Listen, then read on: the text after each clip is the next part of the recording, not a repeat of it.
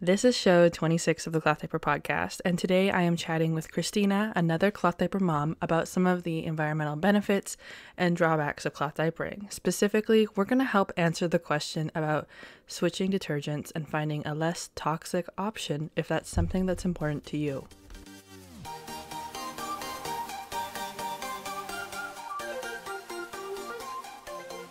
If this is your first time here, the Cloth Diaper Podcast is a somewhat regular, every other week show dedicated to everything cloth diapering.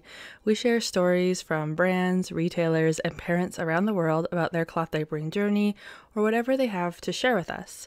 I truly believe that cloth diapering is a big worldwide experience, that there's no one right way to do something, and I'm hoping to bring on all the different voices out there to share how things work for them how it might work for you, and what you might need to know about cloth diapering. Some of these shows are about bigger topics, some of these shows are just casual sit down topics.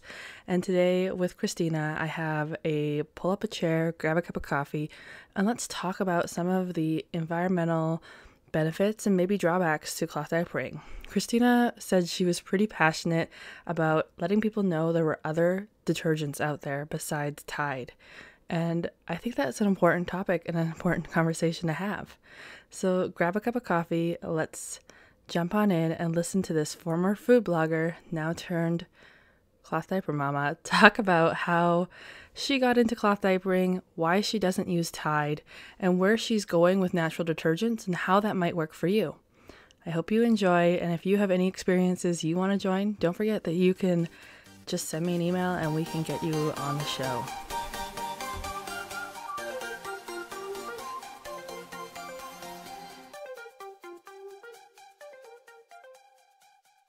What is your why for cloth diapering? Why did you start the adventure into cloth? Um, okay, so I'm going to give you the many many years ago. This is almost ten years ago. I um, I was having like issues with um, an infection, and I'll skip some of this, but the the short story is, is that I learned how to heal my body with food and that's actually around the time that i became a food blogger because i began um, doing like tons of research into food as healing and then that leads into the food system and that leads into like natural living. I mean everything is like connected. And so i knew like years before i had kids that i would be cloth diapering for environmental reasons. Um, so I, i've been cloth diapering since since day one of my daughter's birth. And i and i love it as much as i so it was just like a spiral of behavioral like right. behaviors and how it impacts our body and the world around us and Right. And that's probably definitely influenced your stash. So, what do you choose to use to cloth diaper with? Um, I use smart bottoms. Um, I actually use the covers, um, and then I use a bamboo insert, which I saw your your thing on Instagram recently about bamboo, and so maybe they're not the best, but um, I, I we actually used hemp for a while and we were having leaks, so I, oh. I got oh. bamboo. Well, that's what I was. I was my one thing. I was like, why have you chosen bamboo over sticking with smart bottoms? Their organic cotton insert. Cotton, um, cotton I can't use either. Cotton was actually the first thing we used. Um, before I before I had my first, when I was pregnant with my first, um, I went to like a, I went to two two different cloth diapering classes at two different stores, and they both said like cotton. You want cotton, cotton, cotton, cotton. So I got organic cotton inserts. And my first daughter, like she, if she sat in a wet diaper for like one second, like she was red and so I switched to the hemp or bamboo after that, then that went away. But she was just always red. Oh, so she just didn't really something about the wet cotton she wasn't handling yeah. well. Interesting. It's funny how our bodies sometimes like react to things and you Right. And you're like, but why I wanted would... I wanted cotton to work. Like I think cotton is probably the best, but Yeah, there are a lot of perks to cotton just because like yeah, as um if my if you are listening and you haven't seen me on Instagram, but bamboo is a pretty hard on the environment. But not all bamboo manufacturing is hard on the environment. Some of it can be done responsibly. I just right. I, don't, I don't know. We haven't heard a lot of cloth diaper brands talk about it, but um, a lot of it can be. And from my research lately, it looks like if it is being um, if it is being manufactured in China, China just got really strict on their environmental policies, and so you can't really dump carbon disulfide into the water anymore like they used to. Okay. Um, so things are starting to clean up, but things are a little bit messy. The textile industry in general is really messy. Um, in your email to me, you had said, "Oh, I use bamboo inserts," and I wasn't really quite sure if you maybe where you had gotten to that story, but you got to that story because cotton wasn't working for your daughter. Right. And that's and now and now I know better and I would probably maybe try some different things or or what but it's kind of like one of those things where when you, when you know better yeah. now hopefully hopefully that daughter will be potty training soon so And I would never recommend somebody to like don't throw out your stash. You've already bought it. It's already uh-huh. happened. It's the next story and the next conversation with the next person that you have that you have that right comes to change that. And Smart Bottoms does a really amazing job. I don't know if you've looked into their cotton manufacturing, but it's all done in the United States and it's all milled in the United States. yeah they're, all a really good company Yeah, they have a they have a really good reputation and they look like they're really thinking through a lot of their steps and processes, which is awesome. yeah We don't see that enough. Um, so what do you see as some being some of the biggest environmental benefits to cloth diapering? Um, okay, so I was actually doing a, uh, some research the other day on um, on the landfill issue. Uh, we're actually really minimal with our trash. Like I am one of those people. Like if my husband puts something in the trash that's recyclable, like I will dig it out. Like I've I've been that way for years. It drives me nuts, but like I can't feel you. I do that too. I cannot stand to see something in the trash that can be recycled. So so the land so obviously keeping diapers out of the landfill is like a really big deal. And so um this is in the United States, but 20 billion disposable diapers are added to the landfills each year, um, which creates about 3.5 million tons of waste. And it takes 500 years to decompose. So every disposable diaper that has ever been made and has ever been used is still here on Earth. And like, I don't know, that just gets to me. Like, like what does even what does 3.5 million tons even look like? I'm gonna Google that quickly because I can't imagine like has do you know did you ever come across any stats like if somebody put that in football fields or something? um, no, I haven't, but that would You know? Like as much as the beginning use of a cloth diaper also sucks, the end use also sucks because it's just like a disposable diaper is not going anywhere. Google it too. You know what? The fun fact is that 3.5 million tons of diapers a year. You said that's equivalent. That's how much the world produces in waste a day. I don't know if you Google 3.5 million tons, but that's exactly the number that happens. So it's Oh, like wow. the, the American population does that in diapers a ye- a year. You said, and Yeah. the world does that in general waste a day. Oh my God. It's disgusting. It is. So is landfill like landfill is a huge thing. And as much I know I've talked about this on the show for anybody who's um we do build landfills better than we did in the old days, but landfills can still fail. And so Right. even and then a disposable diaper takes 500 years to put that much trust into a landfill for 500 years is whew, like Yeah. that's I mean, sure it could, but uh what are we going to do in 500 years?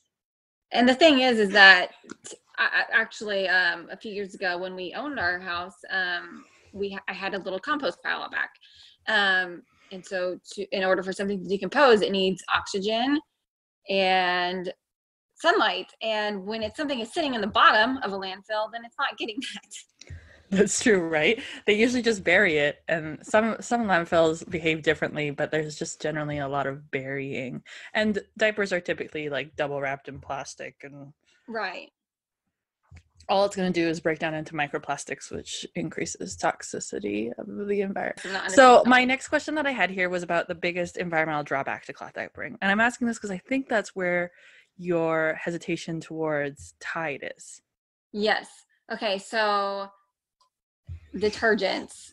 Um, I know in the Smart Bottoms group that I'm in, like they almost always recommend Tide, and it drives It's not just smart bottoms; it's everywhere. Oh, I'm sure. I believe that. I, I can only. Um, but um, I mean, I guess cloth diapering and using Tide is better than using disposables. But that said, it's not like the best thing you can do. I feel like you're doing one good thing and then you're doing a, a, a- bad thing, and, and that's my opinion. so what are some of what are some of the like hesitations behind Tide? Like Okay, so yeah, I love Tide, but maybe why Okay, as a I know, I know consumer everybody. I know, but why as a consumer should I be concerned? Like what are the big concerning points about Tide? okay, Tide, Tide works. That's why that's why they're committed. I remember my mom using Tide on our clothes um, growing up. Um, but if you look at um, if you look at an app like Think Dirty or the Environmental Working Group, um, which rates um, all kinds of cosmetics and um, soaps and products, um, detergents and things like that, Tide. Okay, between those two sites, there's discrepancies. Like there's discrepancies between both of them on like every product almost. But with Tide, they both get bad bad scores. Um, Tide gets a, a nine on Think Dirty, and it gets a, depending on the product, it's it gets a D or an F on the Environmental Working Group. And the concerns are um, cancer, developmental, endocrine, um, reproductive effects, DNA damage, skin irritation, allergies, respiratory and organ effects, um, aquatic to- toxicity, stuff like that. stuff that I consider a big deal. Someone who has focused so much on natural healing, like doing things that um, or being around things that are potentially harmful to your health that's not something i want. Is that because um, it's full of synthetics and fragrances? Is that primarily where those health effects come into? Yes.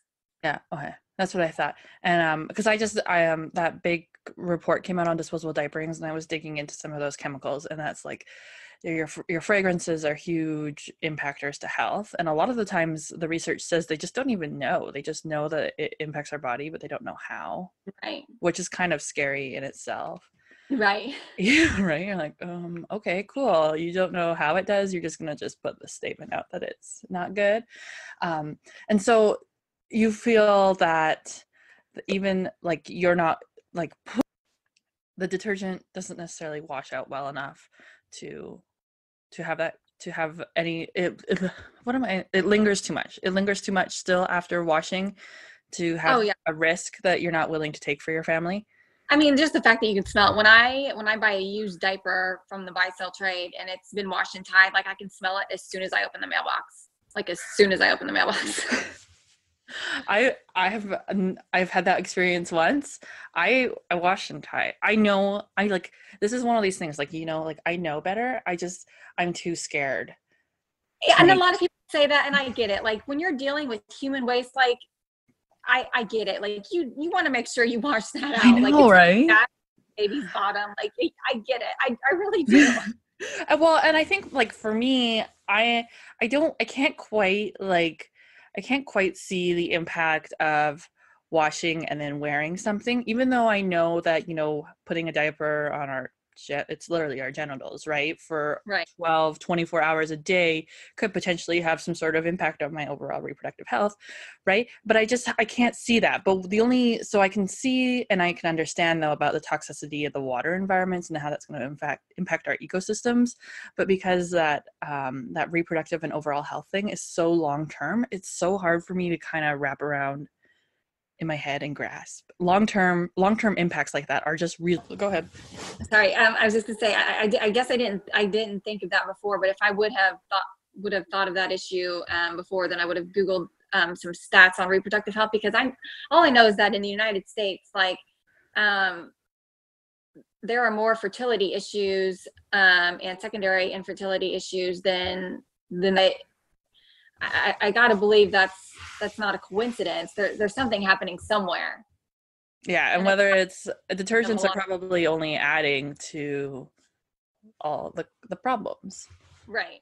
all the issues. Like it's not the only. The problem is that detergents aren't the only one in the system of things that Right. could be impacting our overall health, and that's why it's hard to pinpoint it and say we need to take this out of our because it's like one of twenty five things. But if you can reduce every little thing that you can reduce, right? Right. And the thing is, is that on the on the rare occasion when they do do test something, they can say, no, this doesn't have an effect, but probably it doesn't have an effect in if it was in one product and you know one small amount in one product, but it's it's a lot of things combined. So, yeah that's that's just like the scary world that we are in in 2019 is that trying to figure out how everything plays together Right. Yeah, it's overwhelming yeah, it is. it is We do the best we can, but we do the best we can with the information that we have and we're always learning and so I have a huge hesitation with breaking up with Tide just because I'm scared about what to use next. So, Cristina, where would you point somebody to next?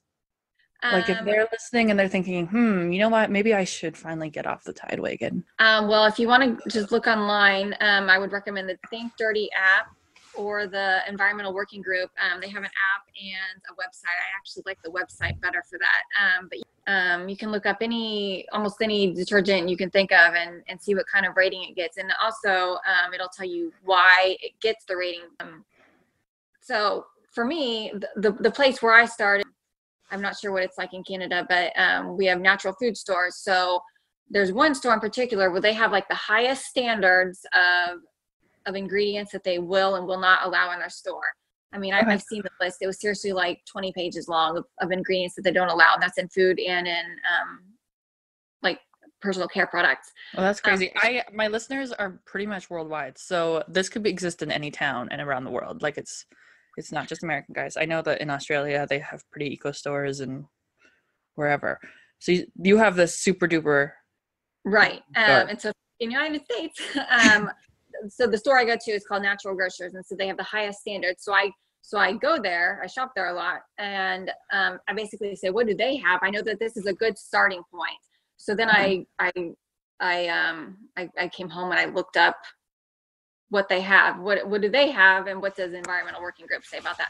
Now that said, it is not like you can't just go to the store and like pick out anything you want. Like it- it's a store, they're biased, you know, Mhm. uh, whatever. So um, you still have to do your homework, but I feel like that's a good starting.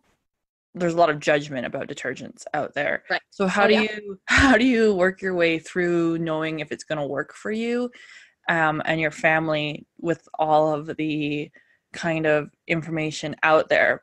Because if you guys are listening, like Fluff Love University is the constantly referenced resource for detergents, but their detergent list was made off of a um, a survey that went out to the general population, and whatever worked for people went to the top, and whatever didn't work for people went to the bottom, right?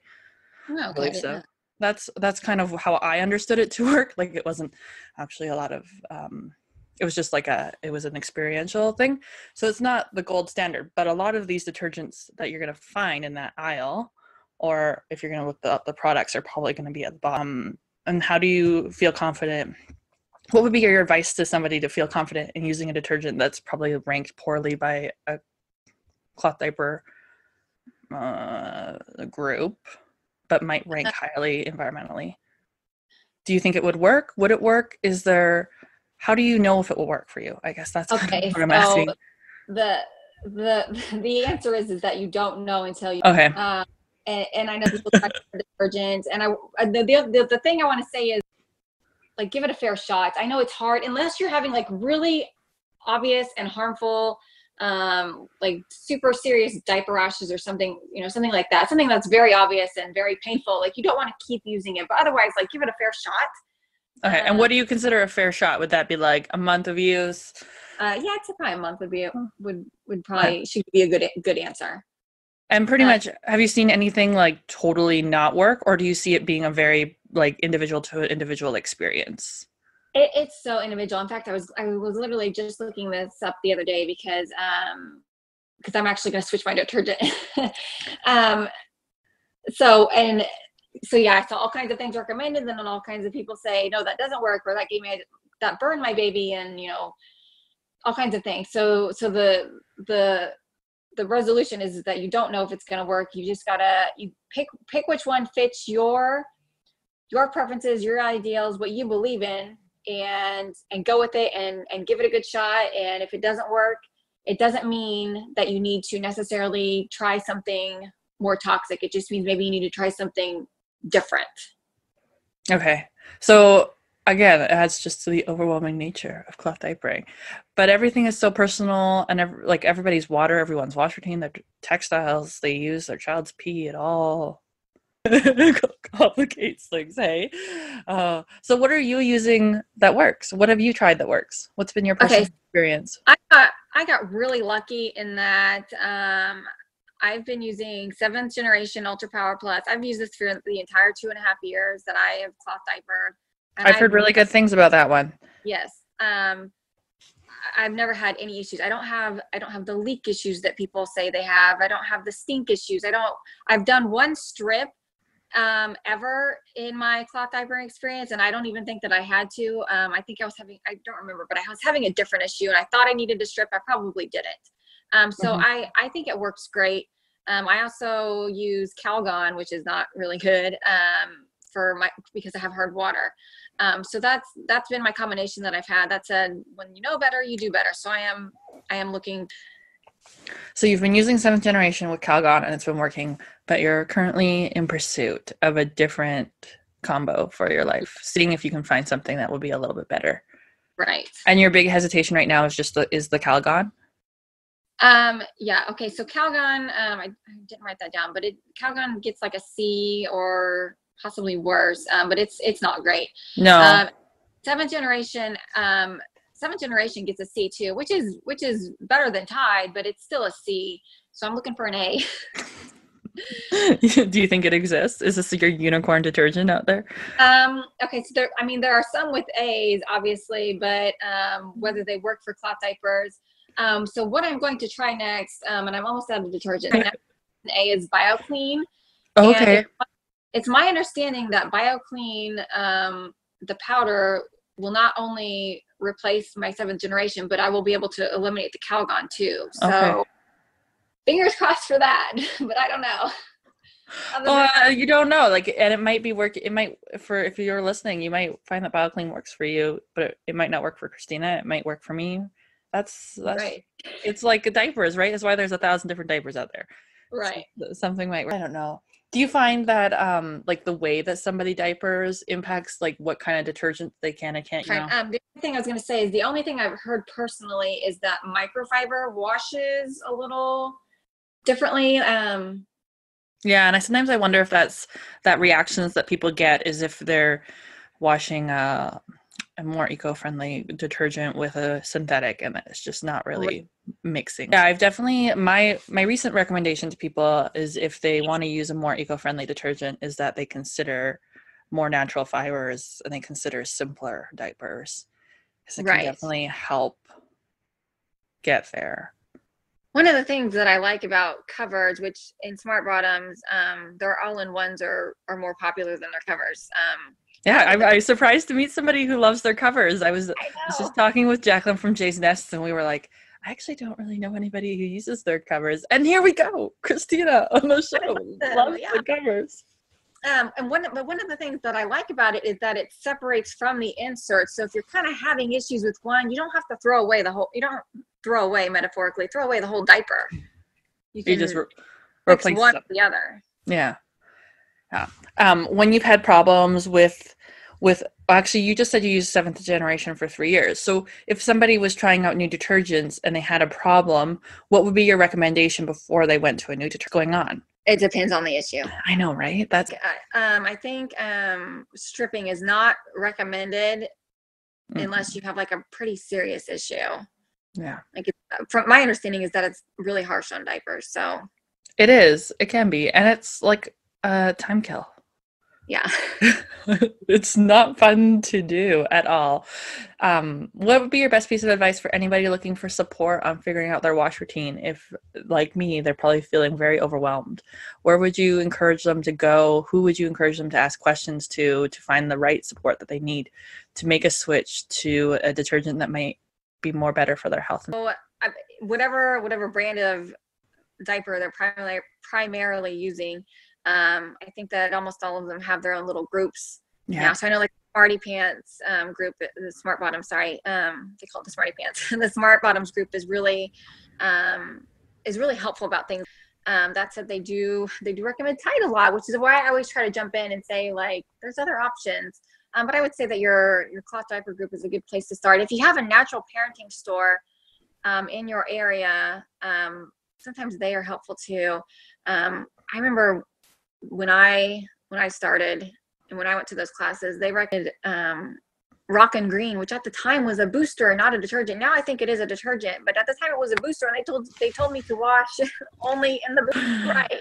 So you got to be careful. But I think I think there's a lot more information than there was even a couple years ago now. Oh yeah, I like cloth diapering in 2019 is definitely not the same as 2014. We're definitely learning.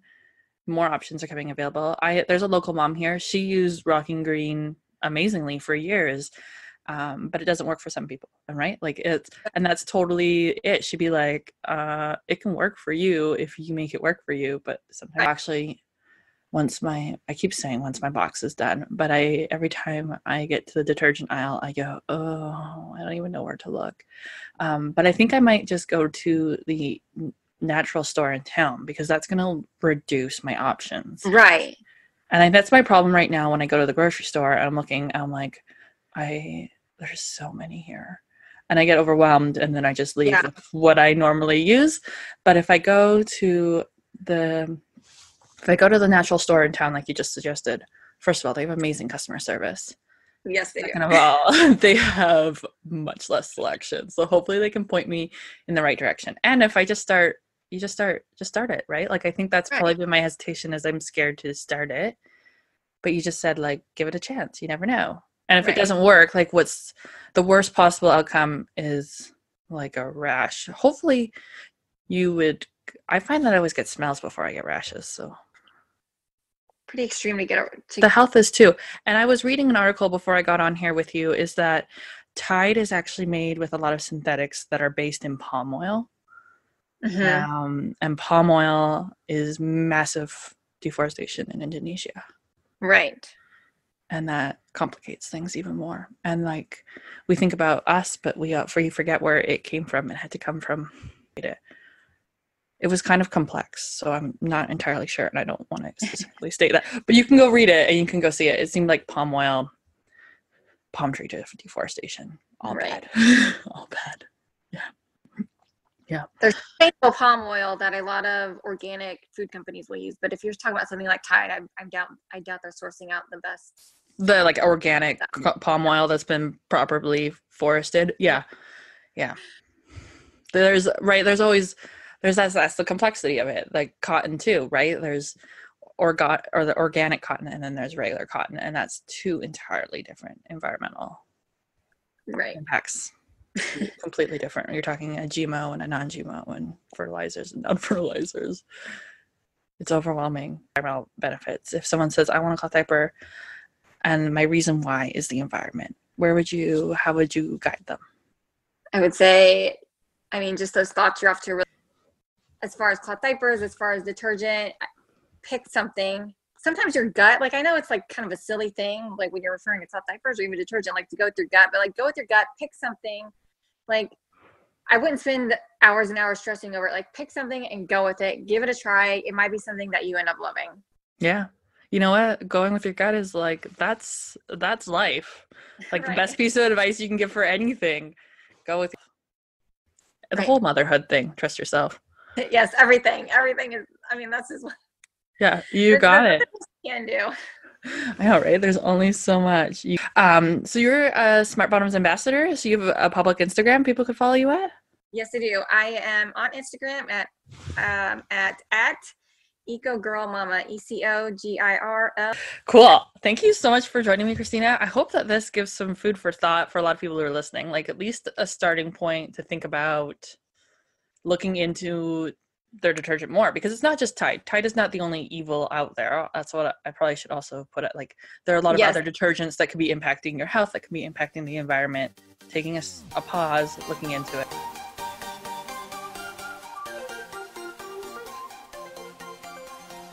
There is absolutely no shame if you are a cloth diaper parent or family who uses Tide to wash your cloth diapers.